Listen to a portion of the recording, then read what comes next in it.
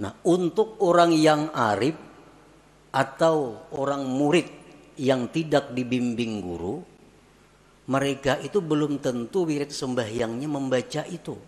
Tergantung apa yang datang ke hati mereka waktu sesudah salat itu. Datang ke hatinya nih, datang ke hatinya ini ingat nikmat Allah.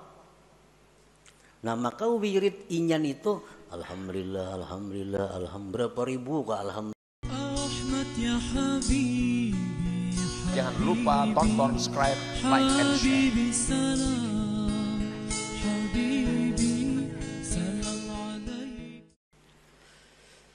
Apabila datang di dalam hati perasaan malu kepada Allah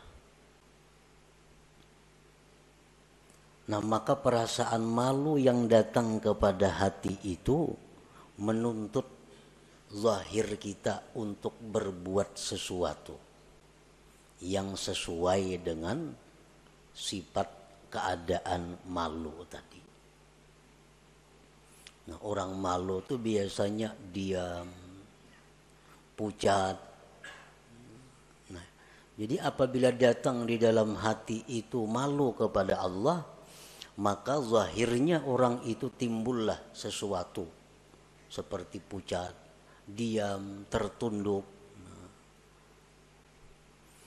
Apabila datang ke dalam hati itu penyesalan terhadap dosa-dosa yang lampau,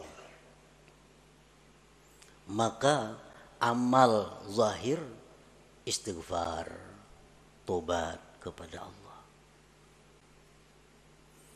Apabila timbul di dalam hati kita mengingat nikmat maka itu menuntut zahir kita untuk mengucap alhamdulillah syukur kepada Allah. Nah jadi artinya bermacam-macam jenis ibadah itu dengan sebab bermacam-macamnya yang datang atas hati daripada keadaan-keadaan tadi Para muhibbin rahimakumullah. Fal arifu wal muridu alladhi lam yakun tahta syaikhin ay ya'mala bihasabi ma taridu 'ala al-qalbi min al-hal. Fal arifu bermula orang yang arif. Orang yang sudah makrifat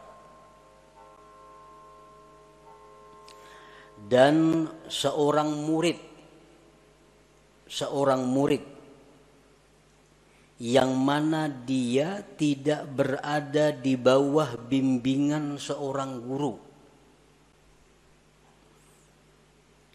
Bahwasanya dia itu beramal dengan sekira-kira yang datang atas hatinya daripada keadaan tadi Ini untuk orang arif.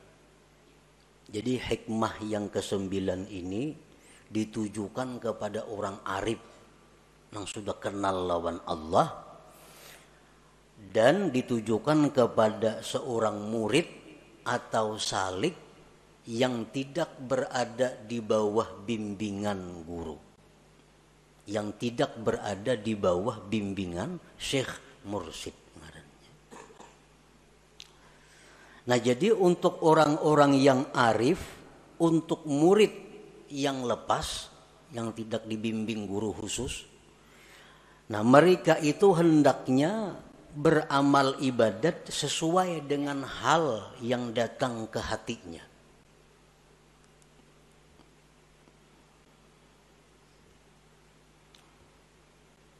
Umpamanya kita biasa imbah sembahyang itu membaca wirid. Macam-macam wiridnya.